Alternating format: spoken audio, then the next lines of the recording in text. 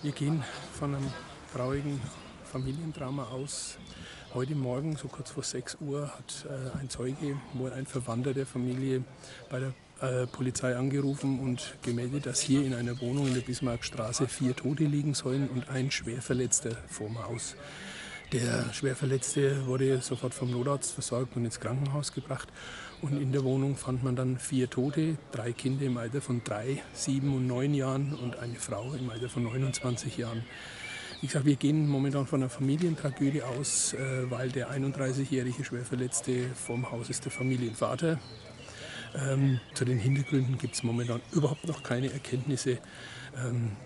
Der Verwandte ist momentan bei der Polizei und wird als Zeuge vernommen. Der Schwerverletzte ist im OP und wird derzeit operiert. Wenn Kinder betroffen sind, ist das eine, eine furchtbar tragische Geschichte. Und es ist einfach unverständlich, aber ja, wir müssen so hinnehmen und müssen unsere Ermittlungen weiterführen.